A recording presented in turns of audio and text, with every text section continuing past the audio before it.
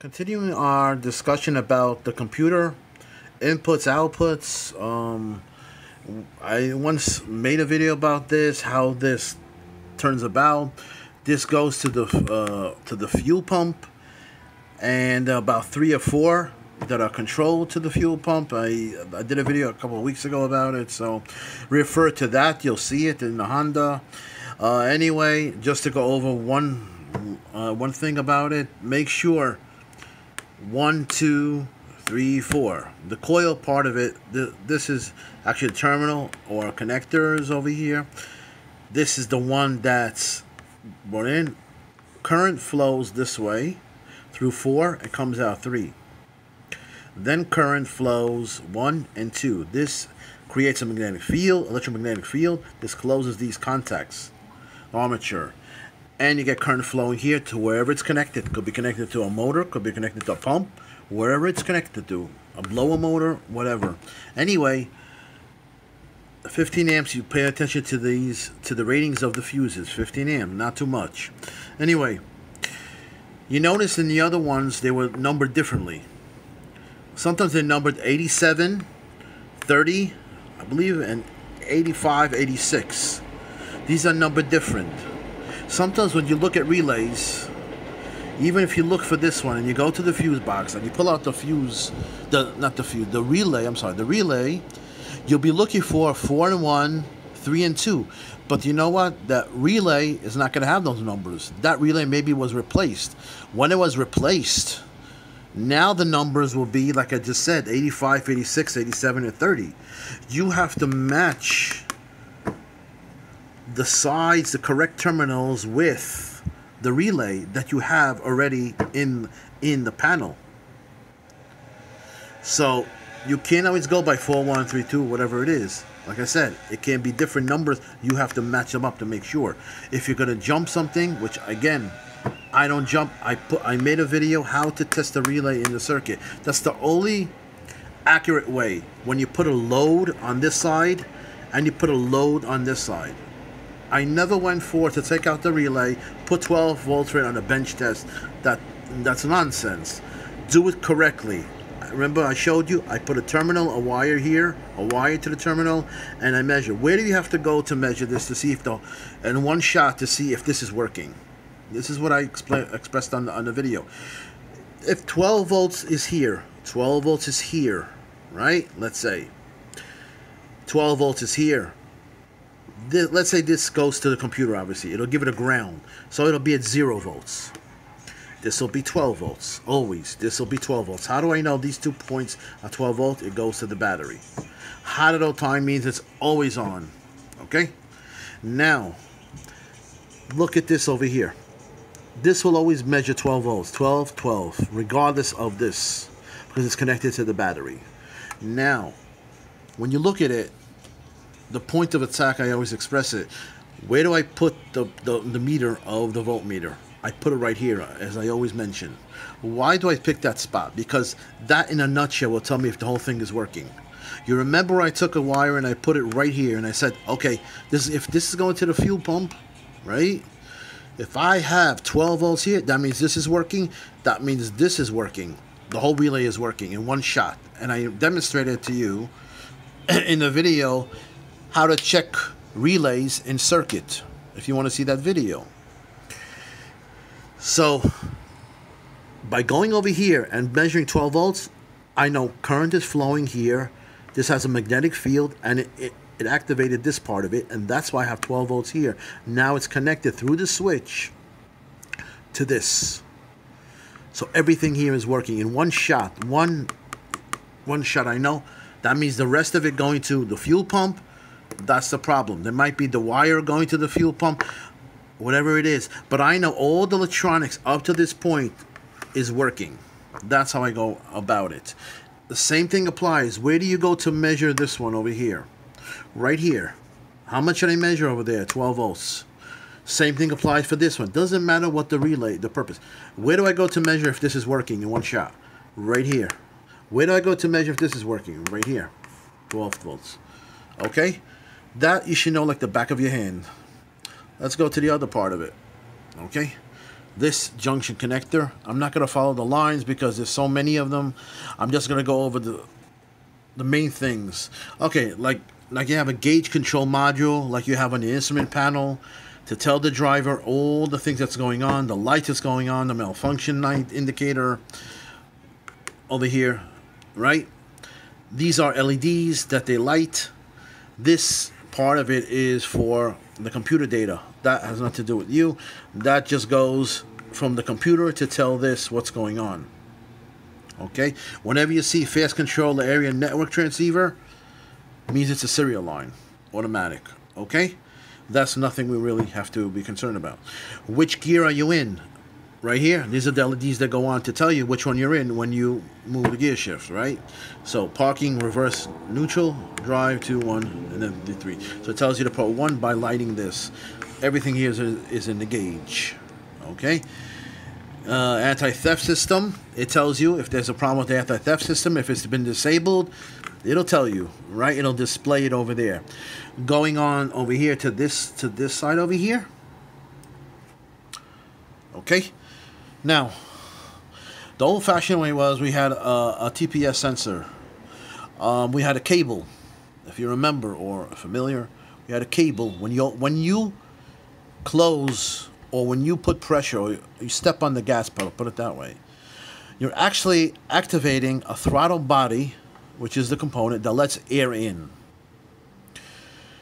when air is being drawn in by the action of your foot on the gas pedal, you're allowing air to go in. The computer senses that and allows fuel fuel to match that ratio to go into the cylinders, into the engine.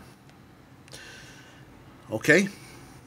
So they call it a gas pedal, but actually th there's a throttle body and a throttle plate that opens the degrees of the plate is used for the computer to tell how much that is open in the throttle plate. This is the throttle plate standing like this when it's closed. Obviously, when you open it, guess what? You're going like this, like this, like this. You're opening it, right? Therefore, more air is being drawn in.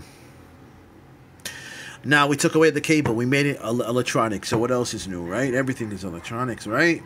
No cable. Now a, a electrical um, wire to it, electrical cable to it, right?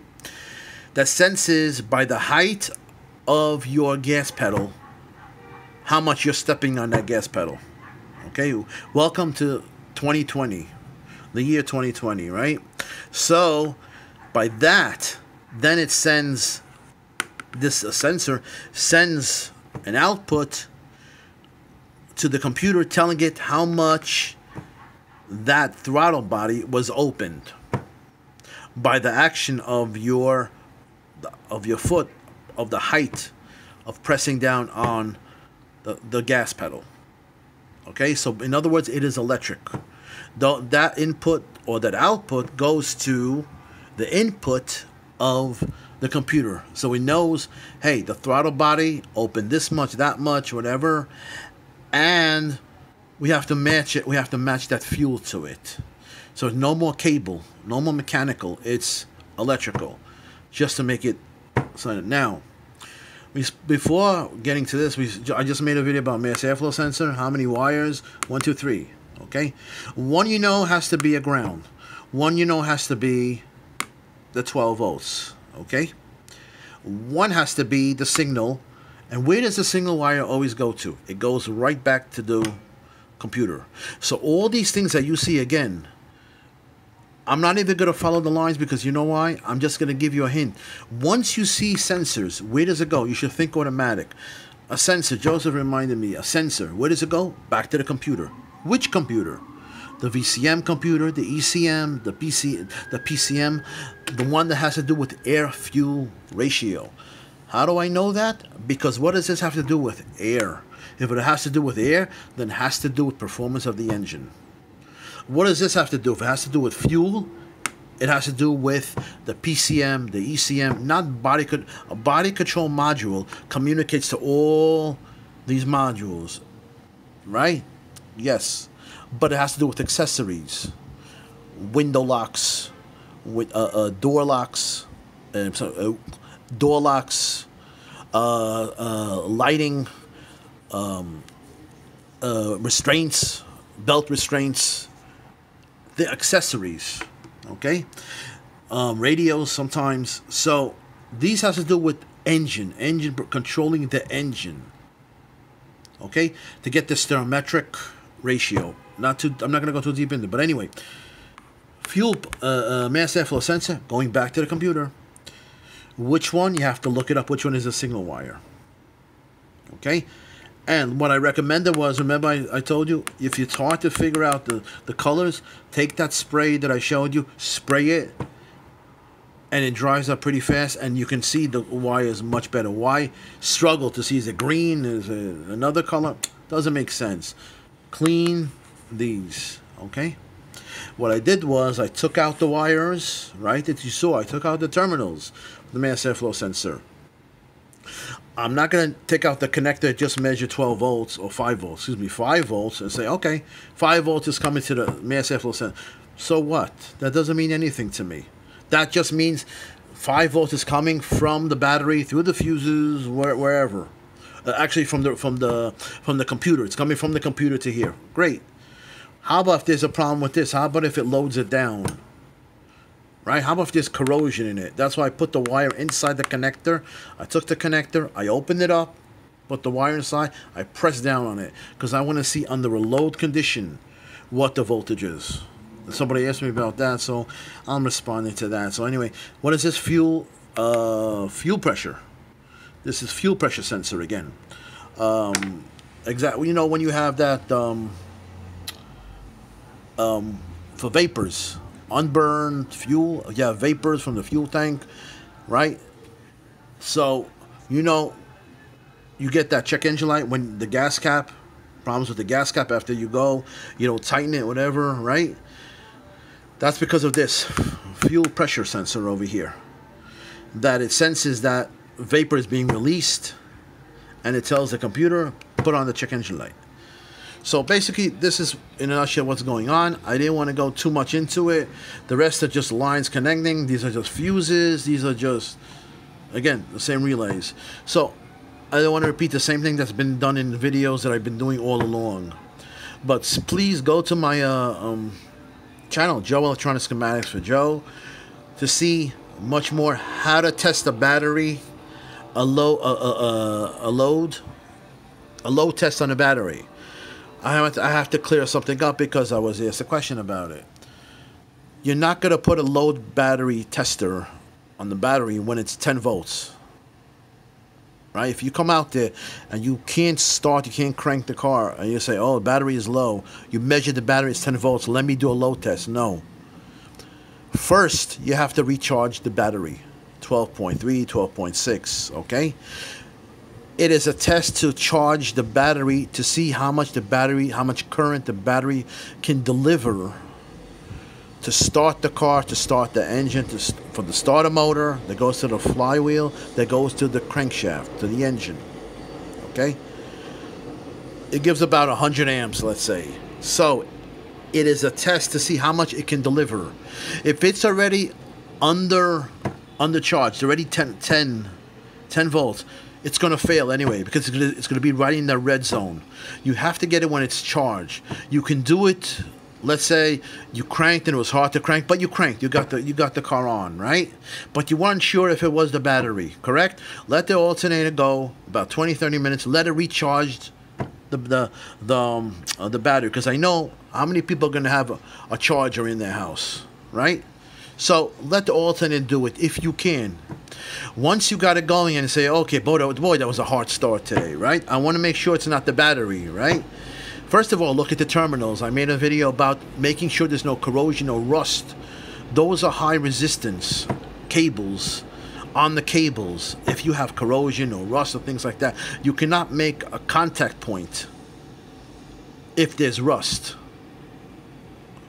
I, if I put a meter there and there's rust on the terminal, I cannot measure it because it's it's like corrosion. It's like it's a high resistance, and you lose voltage across it.